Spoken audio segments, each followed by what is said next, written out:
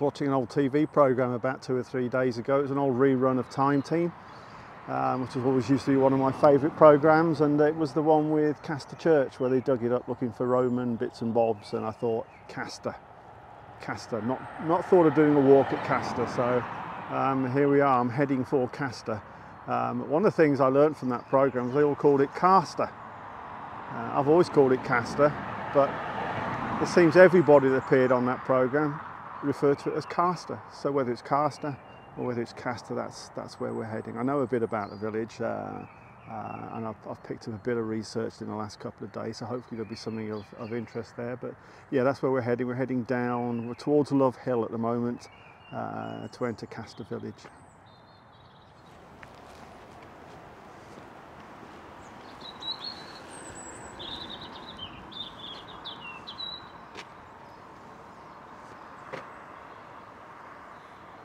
That's something else I've learnt already. I always thought it's called Love Hill. It's Love's Hill. There you go. Back in my cycling days, I used to hate coming up this hill. You know, and I was gasping my last breath and I'd look to my side and I'd see that sign saying Love's Hill. And I used to think, what an inappropriate name for a hill. Hell's Hill maybe, but not Love's Hill. Um, it's, a, it's a hell of a hill if you're a cyclist, but you'll know that already.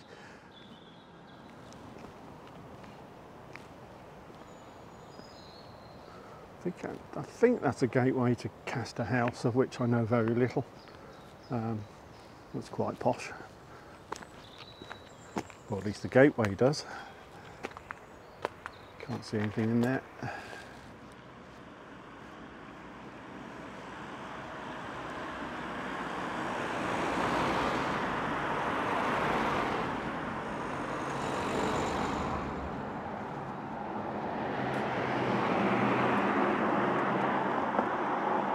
Amazing how many vehicles go up and down into this village. It used to be a lot more when this was the A47. I used to drive through it quite a bit before the uh, current A47 was open, but it's still busy.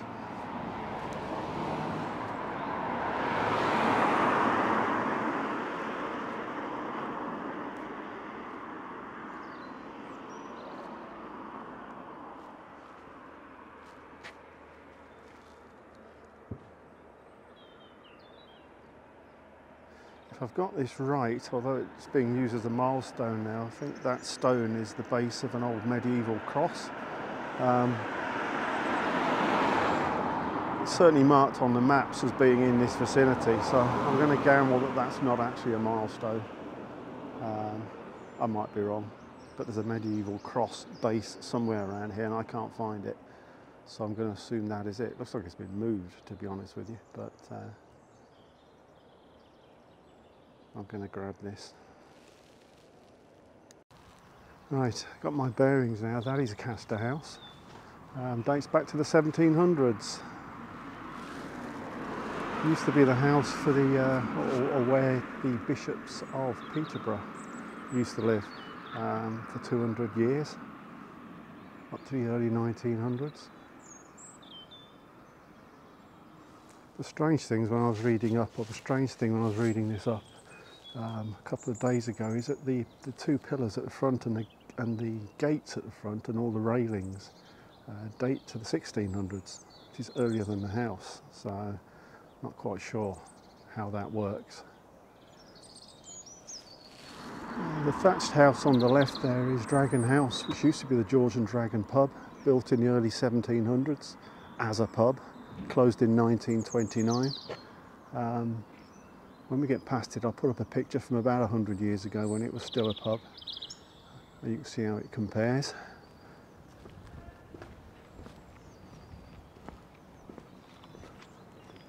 Dragon House.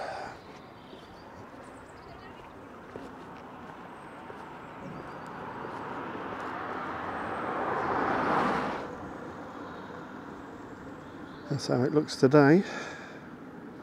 Apart from the sun blocks the view. That's an early 1800s uh, stone barn.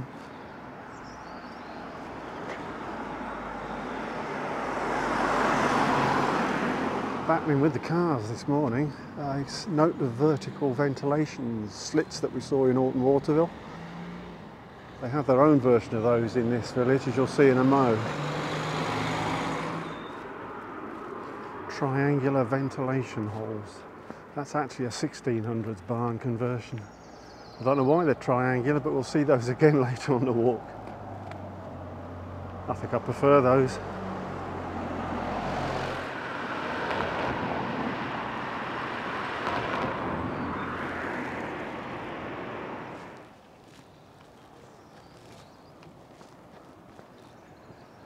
Got a date stone on the top of that one. This is always most welcome. 1876 or 5. 1876 I think it says.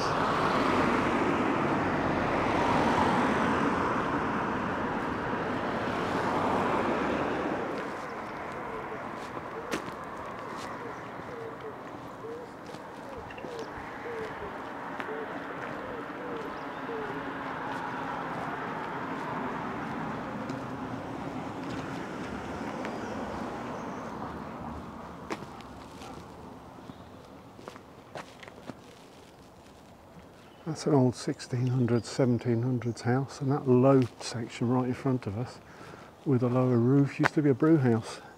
A brew their own ale here. That's an early 1700s house with a Welsh slate roof, unusually. Very nice that.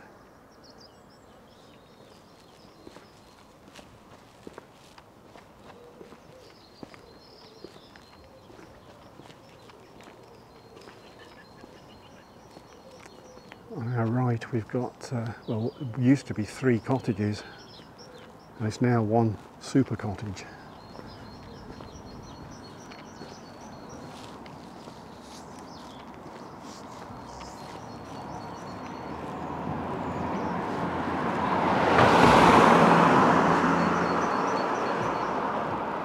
It's a big one. And it used to be three.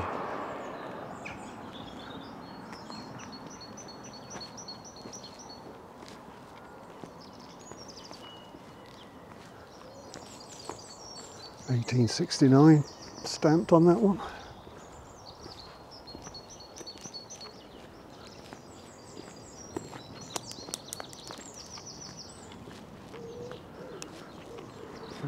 The Royal Oak dates back to early 1700s.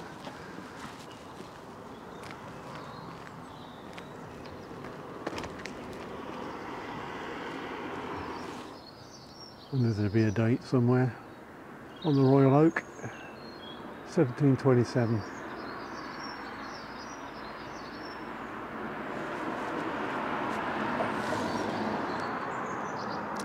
Across from the Royal Oak, that's an early 1700s house with a sort of outbuilding that's been bolted on and converted. There's an old 1600s cottage, and it's another one of those. Well, I'd say it's probably three cottages into one. If it isn't three into one, it's two into one. It certainly wasn't this one big cottage back in the 1600s. It seems like 90% of the buildings in uh, Castor are former farm buildings. There were several farms down here. They're all converted barns of one sort or another, dating from 1600s through to late 1800s. Um, nicely done. Keeps the character. It's better than demolishing them and just putting new builds in.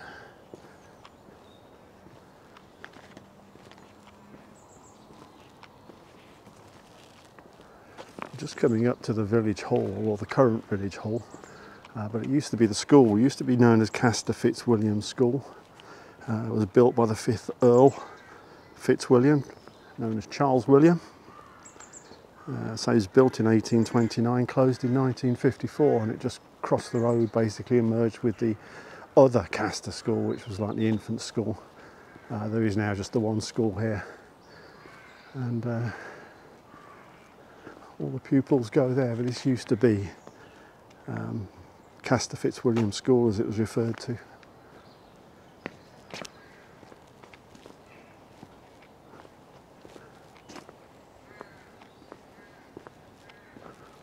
A date on it anyway, but I'm pretty sure it was 1829 if I recall.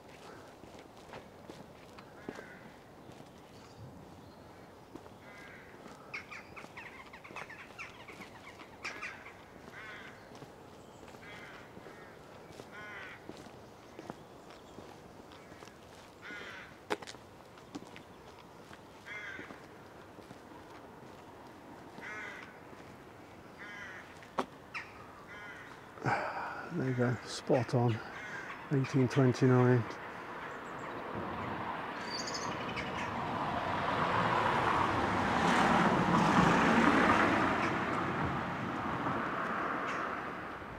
Just coming up to the second pub in Castor, Fitzwilliam Arms. Well, it used to be a pub. I'm not 100% sure what it is anymore. I think it's more a restaurant than a pub. But it's still here, and it's an old 1600s building, albeit very significantly uh, modified since. But it looks old.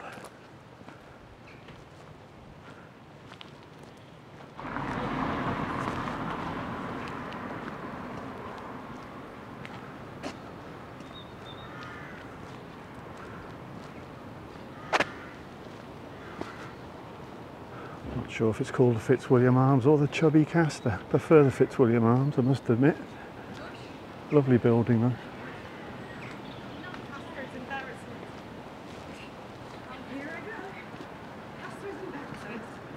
Over on the left, we had the old blacksmiths.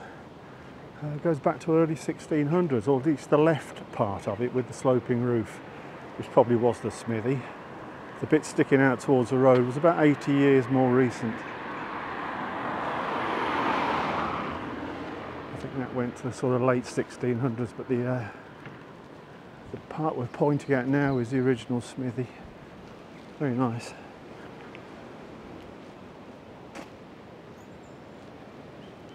There's a date stamp on this, it probably will be late 1600s. Um,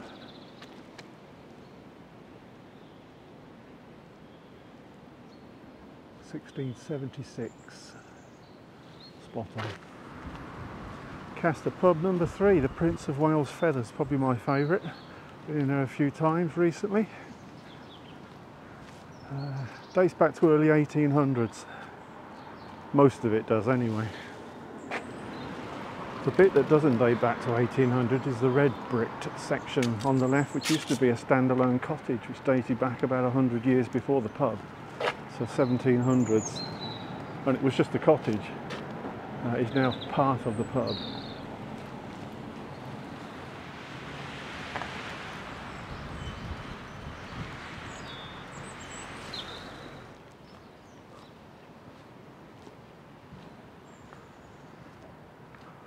Lovely old house to the right here, dates back to 1700s, but it's got bits in it that go back to 1500.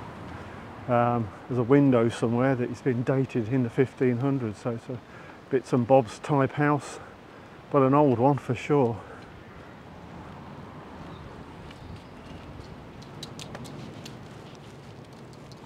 Dura Durobrivae, named after the Roman settlement nearby. Just coming up onto the old village green. Uh, the wall at the back there used to be, I mean, it, was one side of a bunch of uh, farm buildings from nearby Manor Farm. It's like they've took the buildings down but left the walls up at the back.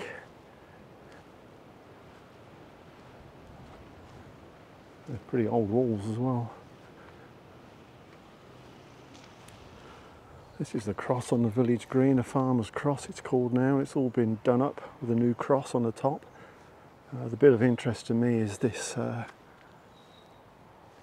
square bit at the bottom, which is the base of and a stump above it of an old medieval cross that was here. Um, so anything from 600 years to a thousand years ago. Um, that's all that remains of it, just that base and the bottom of the stump of the cross. And it's been lifted and embedded into a new cross now, which is good. Should see it survive.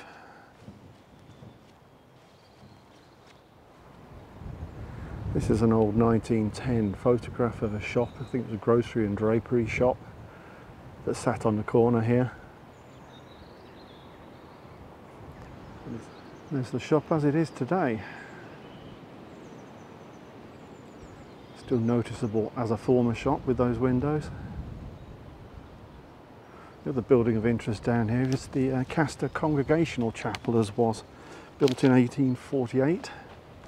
Um, it closed in the 1970s and then reopened as the sort of admin centre and offices of uh, Hall's Chemists. So I was told there was also a shop here in the building for a short period of time. But it's been Hall's for quite some time now. Uh, It doesn't quite look like uh, some of the chapels we've seen. That's because it's got an extension on the right that was added later on. If you take that away, it looks like every other sort of chapel. Castor Congregational Chapel.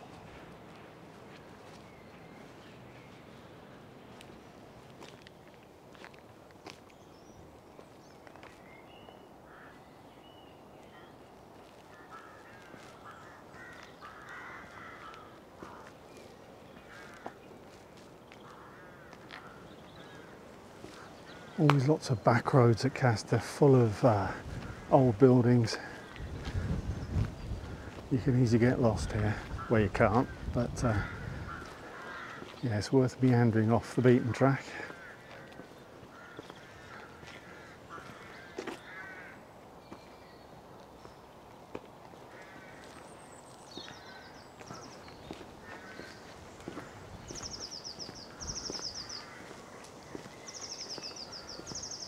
Skirting around the sort of top end of the church now uh, to this church wall which I think I'm right in saying is grade two listed again.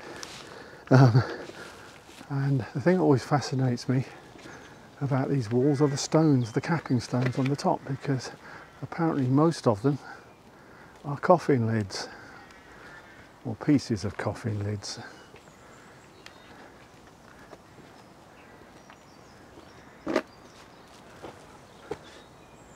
I'm not sure how that works.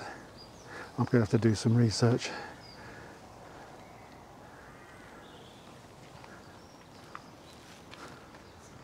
I mean, some of the stones are flat, and I suspect these are just pieces of stone. Then you get these that clearly are not flat. I mean, that is clearly a coffin lid. It's even got some faint engraving on it.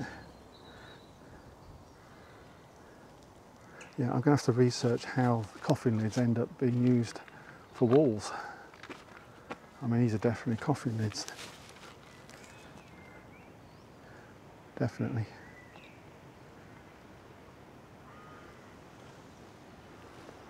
That one is called Stoneleigh with the thatch and the 1700s house looking mighty fine.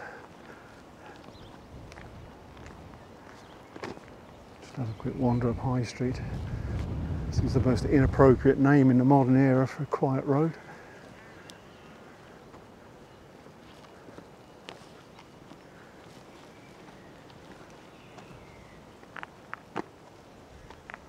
Very nice. I'm just wandering up here. There's four, there's four sort of thatches, or four houses. I don't think they're all thatches. Four old houses at the top end that are all sort of 1700s, and one that's slightly older.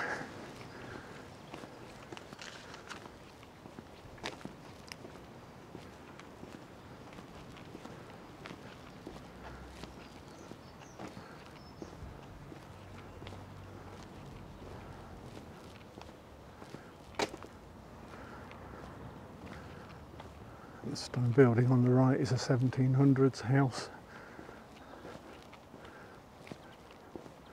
As I believe are the two on the left. The stone one here and then the thatch after it. But the old one is the one on the right in the distance. I'll perhaps walk past it and come back. That's a 1600s house, that is. Actually, the one on the left looks just as old, but I'm assured it's not.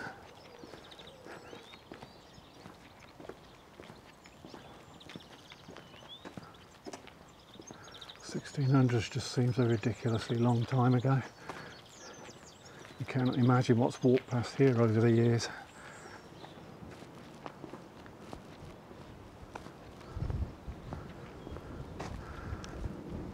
The church of St Kyneberger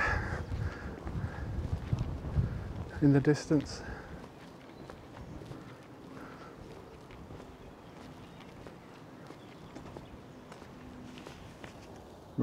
Entering serious history um, land now when it comes to uh, Castor, which is the, around the church. But you know, this was a big, all around here was a big Roman area. You used to have the big settlement of Durobrivae, which was a really big um, Roman settlement down by the river, um, and you had all the pottery area. It was a big industrial area in terms of pottery making.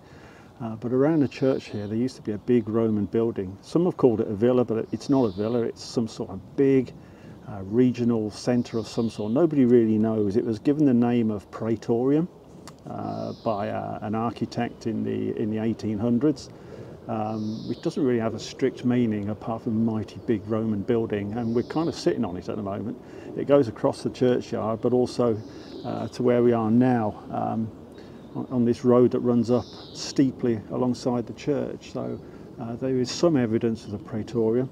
But most of it's underground and uh, a lot of it was sort of dug up in the 1800s by this uh, um, uh, archaeologist and it was dug up again by Time Team.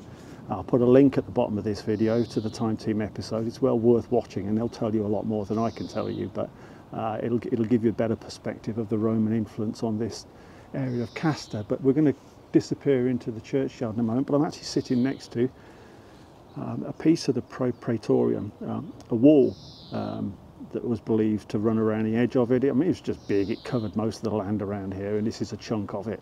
Um, it's one of the walls. There's two sections actually. I'll wander down to the other one in a minute that stick out the side of this roadside wall. Um, doesn't exactly blend in, um, but this is Roman, pretty old stuff. About 1800 years ago, somewhere in that region, plus or minus 100 years. Never seen, never, never sat next to a Roman wall before. That's one piece of the wall. There's another one down here. It's got a sign above it as well.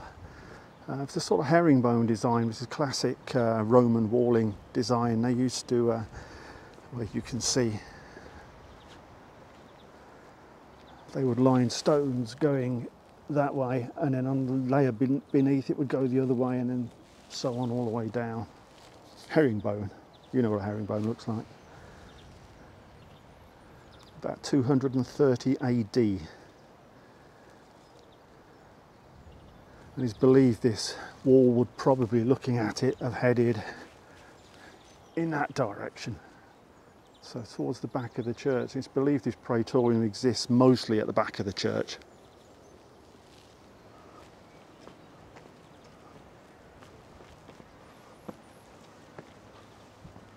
St. Kaineberger.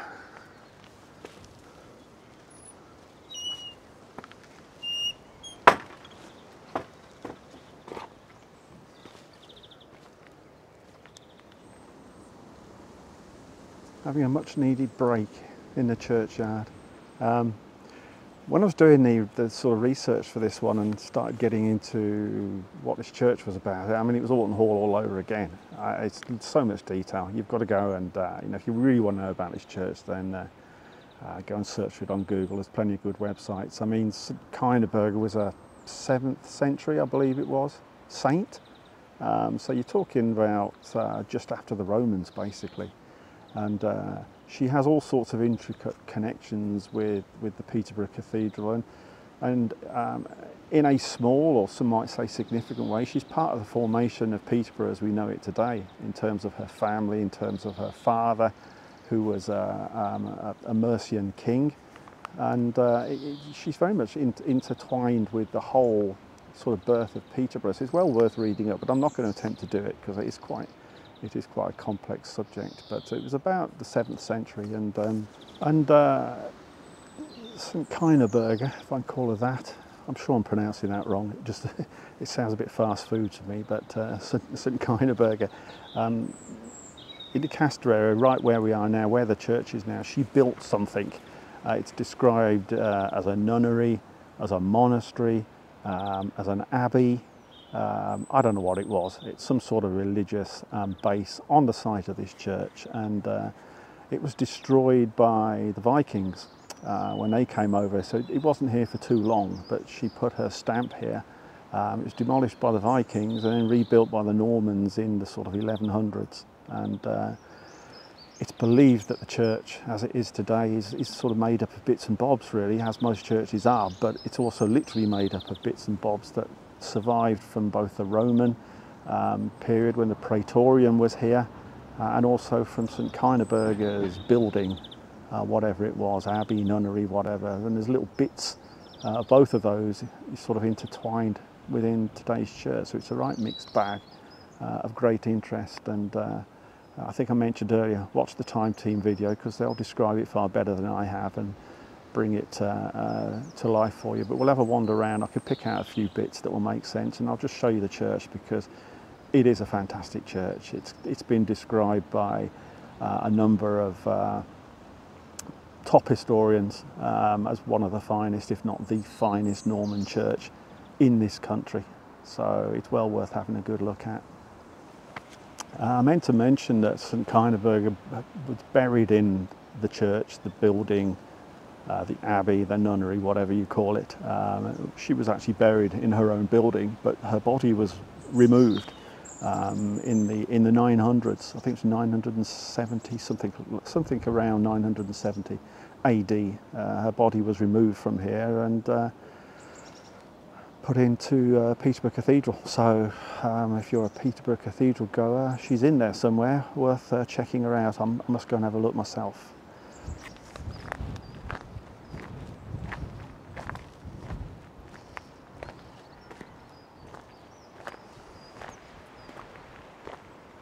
I don't think I've ever seen a churchyard with so many graves in it. I'm told there's just as many under the ground. Um, you know, they literally used to remove bodies, chuck them in a pit, as it were. So they had room to build more sort of higher level graves so they could keep burying people.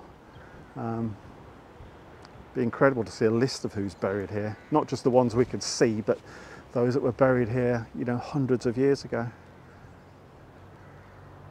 You'll see on the Time Team video if you watch it, you know, as they dug down, they just found bodies uh, everywhere.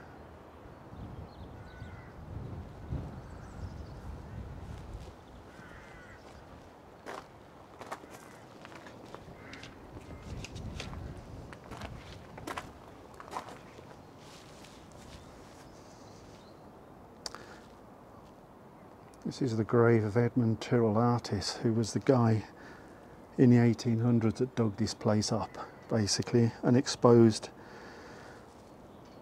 the praetorium, as he called it, that was underneath, or the elements of it that he could find. I'll put some pictures up. He, he was a fantastic artist as well as archaeologist or enthusiastic archaeologist, and he, he put some fantastic pieces of artwork together. I'll put some of these up and you can see what he found.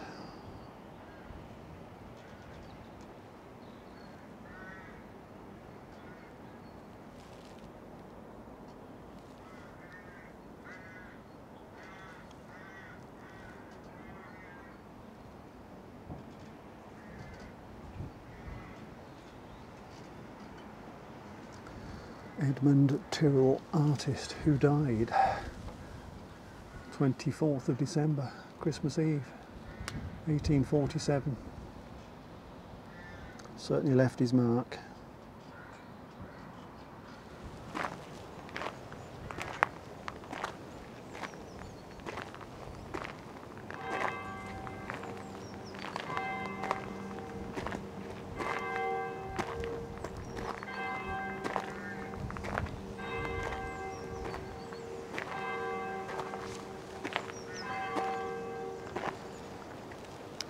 Amazing how there's just gravestones everywhere, propping up against walls.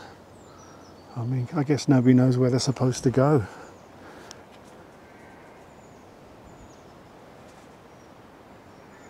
Amazing. Fantastic old gravestone just standing at the side of the churchyard. Um, John Rapperson. I can't see that date. 1650, 1850. I'm going to try and interrogate this at home back on the computer and see if I can uh, find something out about this guy. I think he deserves more than just being left against uh, a stone wall.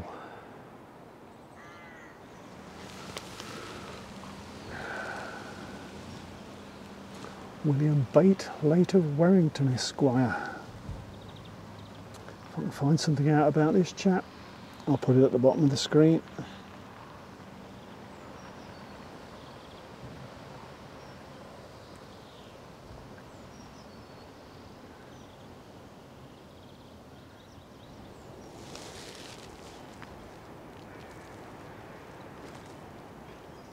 It's the Norman Tower at the top of this one that really stands out. I mean, it's just so ornate.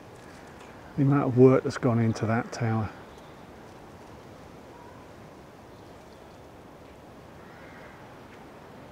Pretty stunning, really.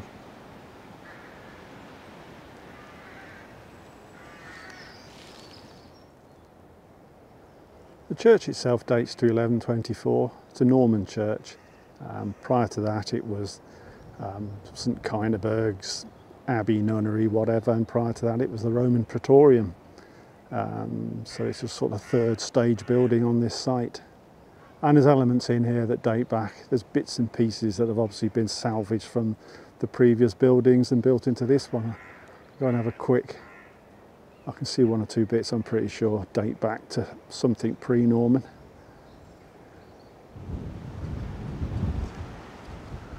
Up above the main door is that, which I think I read somewhere, it is believed to be Anglo-Saxon and therefore that will have been salvaged from the previous building here. So somewhere between, I don't know, 500 AD and, and, and 1000 AD, I guess. That sort of time period, and it's been sort of embedded in the Norman church. Not sure what that is or who that is. Um, but the, the two circles of the sun and the moon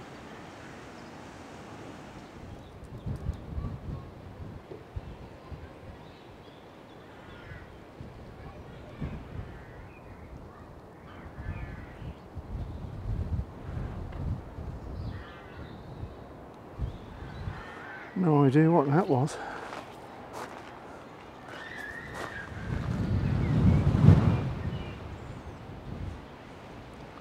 Yeah, interesting. Keep seeing these uh, reddish elements in the wall that look like tiles. Uh, the old Roman praetorium that was here had a red tiled roof, so this is me talking here, not historians, but I wouldn't mind betting that these tiles have survived from the Roman building. Could be completely wrong, but the colour is quite distinct.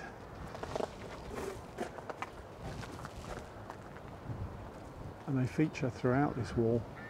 It just seems a bit random to put them in there if you were building this from stone and stone only.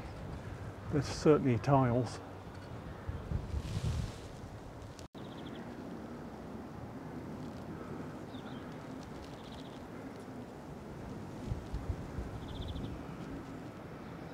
Don't think the statue is necessarily that old. I would suggest what's above the statue is. And I read somewhere that that actually does say 1160 something.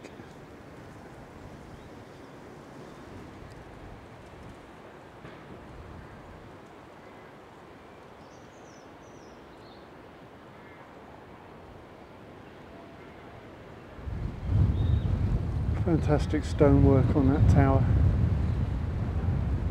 Really is top class.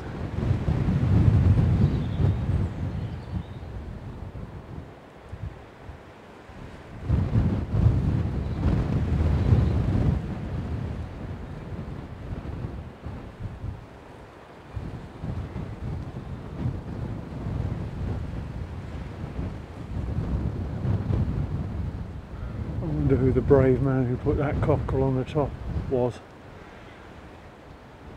Not for me.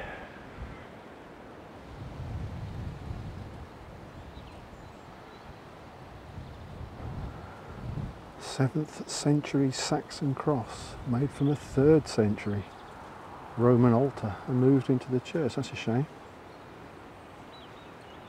Would like to have seen that.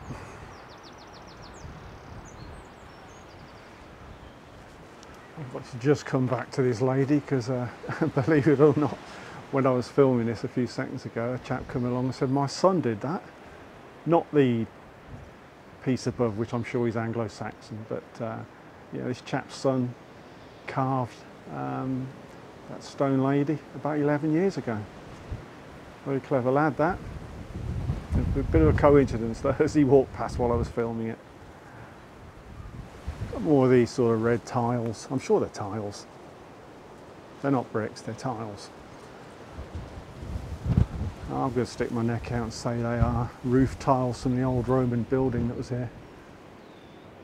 I'm sure there'll be archaeologists laughing their socks off at that one, but I'm going with it.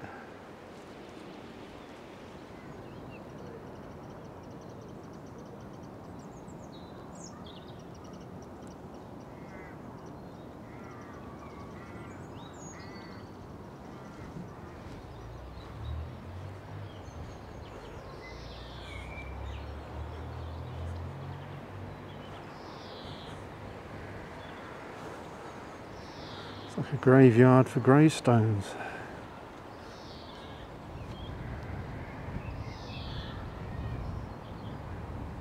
Very strange.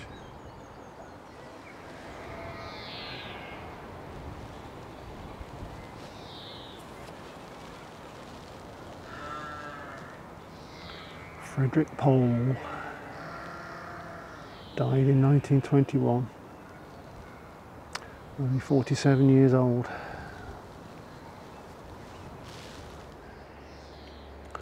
It's a military grave. Died during the war, at the end of the war.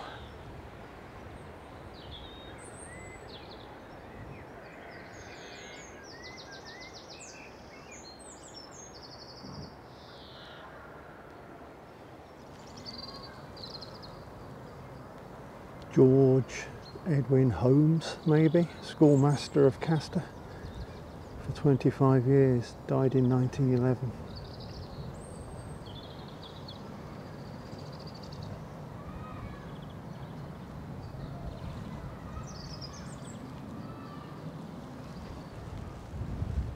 It's a lovely cottage with a date stone of 1803 on it.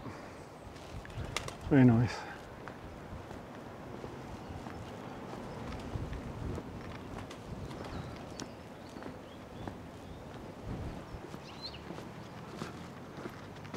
Must be spring. We have aubrietia. Good to see.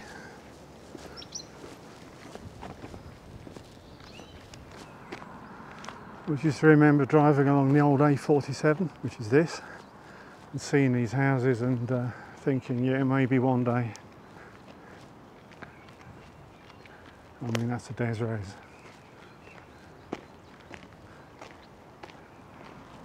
And another one.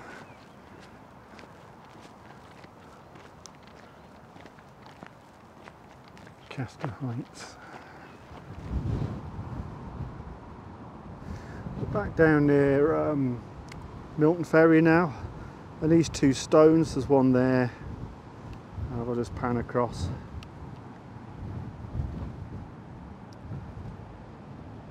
There's another one there. Now these are known as Little John and Robin Hood stones and there's all sorts of myths surrounding these. In theory, if you believe the myth, uh, they are either markers for um, an arrow that was shot by Robin Hood and Little John, or they were stones that were here anyway, but just happened to be hit by arrows shot by Robin Hood and Little John. And the legend has it they fired their arrows from right over there on the other side of that lake, somewhere near Old Walton which obviously is bananas, like most myths are. Um, what these actually were, if I just switch my camera lens, That's better. Now you can see them both in shot. Um, they're markers, they're track markers. Uh, and the reason they're here is there used to be a track that ran straight down from here to the riverbank and it was it was solely for the purpose of conveying stone from Barnack Quarry, what we now know as Hills and Holes or Hills and Hollows. And it conveyed that stone, horse and cart wise, down a track straight in front of us to the river for travelling by barge down to Peterborough Cathedral, Ely Cathedral, Bury St Edmunds Cathedral for the construction of those cathedrals. Um, the, the church, the bishop, the cathedral, the, the officials in town owned Barnack Quarry um, and they wanted their stone to travel toll free because uh, this was Milton Estate lands and just down where Milton Ferry Bridge is now is where Gunwade Ferry used to be and that was a toll ferry. So there's no way that the, uh, uh, the powers that be in Peterborough wanted to pay to have their stone um, moved every time it turned up here. So they obviously did some sort of deal and they had their own track here. And these two stones are merely here to mark where the track was. It ran straight between the two. So they're track markers. Uh, there's no Robin Hood, no Little John, but you can keep the myth alive. Good for the tourists. Right, we're nearly done with Castor, but one site I've still got to do, and it's across the other side of the village, and my legs are aching, so I'm not going to trek all the way back. I'm going to teleport. So I'll see you in a moment. Welcome back. Uh, where are we? Well, we're on a railway line. Uh, let me turn the camera around a second. This is the site of Castor railway station. It's actually quite a distance from Castor. It's nearer to Ailsworth, but it was called Castor, so we're going to include it. And uh, I'll put a put a couple of pictures up uh, for more or less where I am now. As you can see, there was a platform on the right and the left, uh, station house on the left. Um, so it's quite a substantial, substantial minor railway station. I mean, all stations seemingly in, back in the uh, 1800s were built with uh, substance, as it were. But yeah, this is this is where it is today. Same site. There's nothing here, apart from the crossing.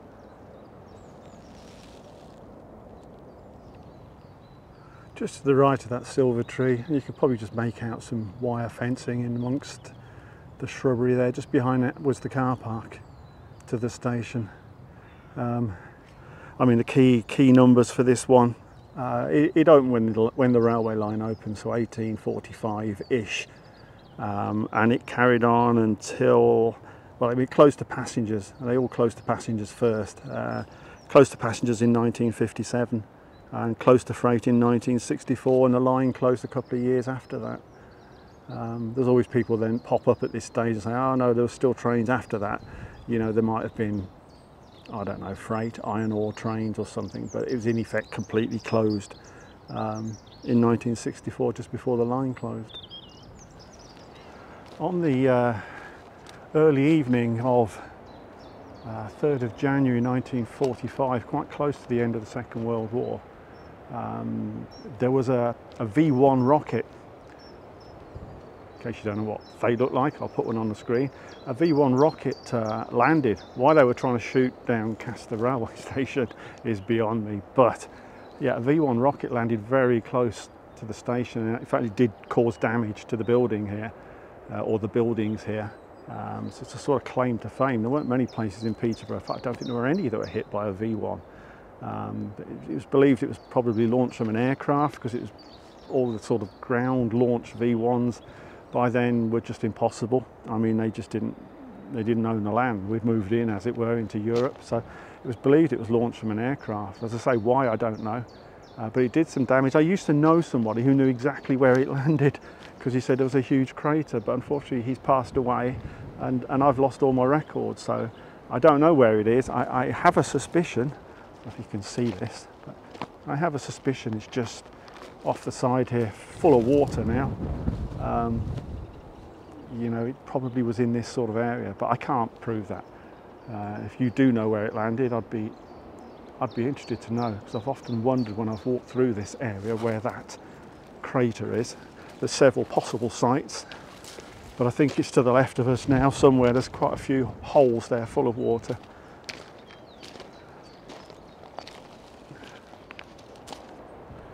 We're just looking out from the crossing now towards where the station was, and more to the point directly in front of us was where the station master's house was, which you can just see in the corner of those old photographs. It was believed that uh, the station master during the 1940s, during the time of the war, um, was a keen gardener, and he didn't have a lot of room to sort of grow flowers alongside this building, so he grabbed a bit of land behind the station and created his own little bit of paradise, I suppose. Uh, he had an orchard in there, uh, he had flower beds in there, he even had pigs in there at one point in time. Had his own little bit of land. The station master's garden, it's being restored, or it has been restored recently as the station master's garden uh, to remember it and to remember him. If wander down and have a look.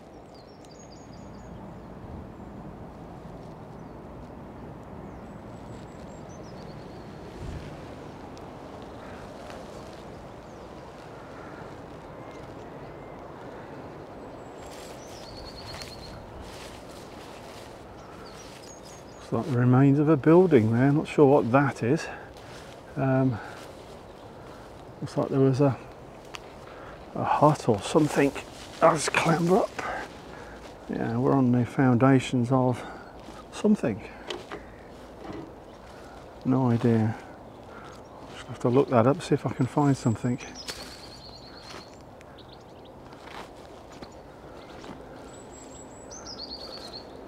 Next to the stream.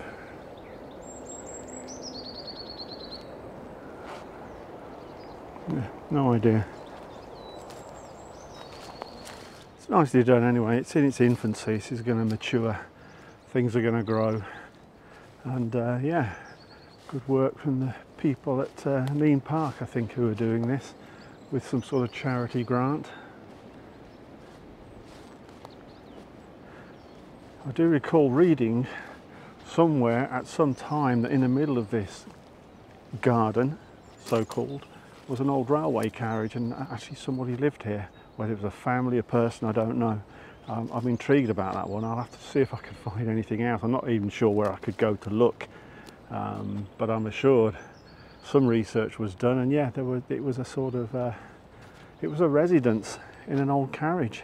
It's a pity it's not still here. And I don't know when that was, but I'll try and find out.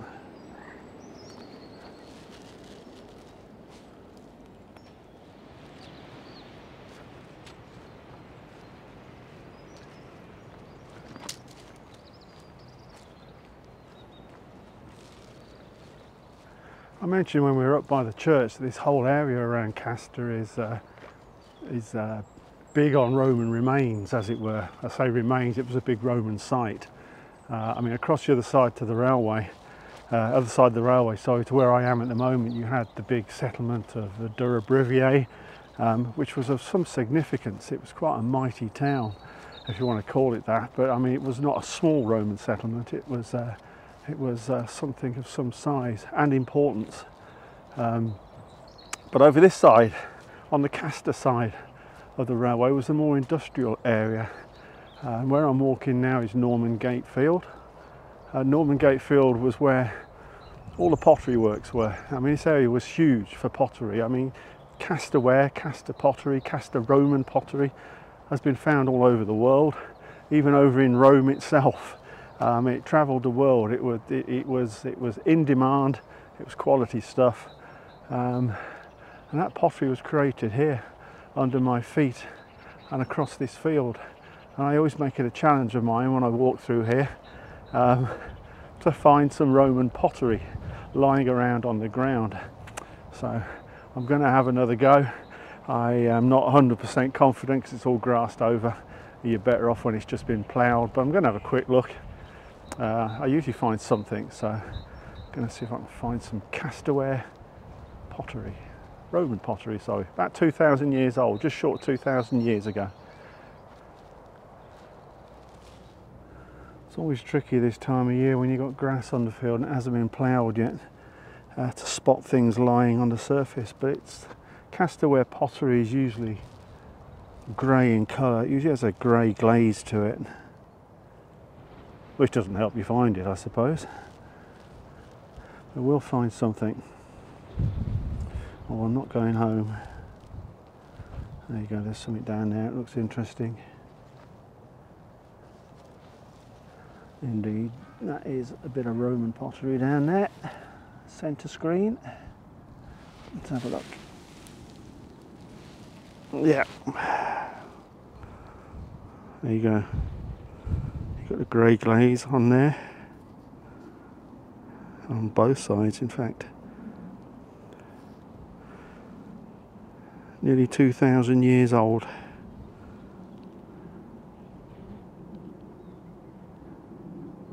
Lovely.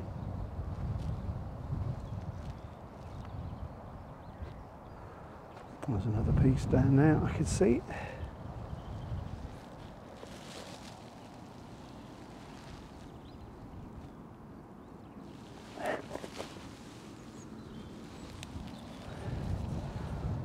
Glaze on it.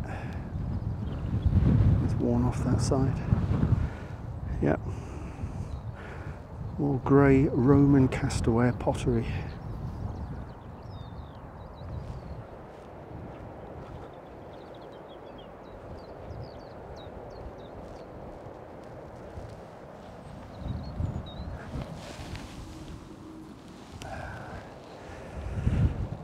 Uh, Roman pottery expert. I don't know what that is, but it looks man-made.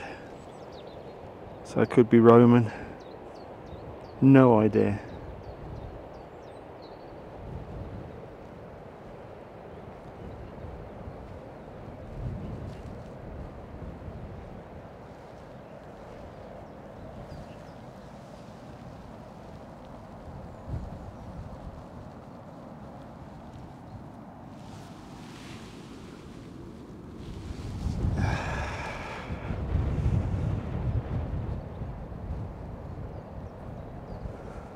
I know some of you will be thinking it's just a piece of stone.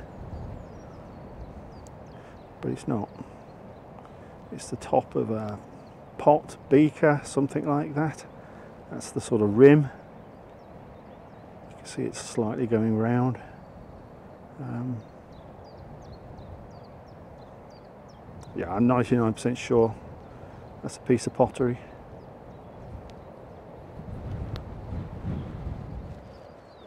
Right, the weather's closing in a wee bit. I know the sun's still out, but it's getting a bit grey around here. So, uh, having found my Roman pottery, I'm quite happy now, and I'll call it a day.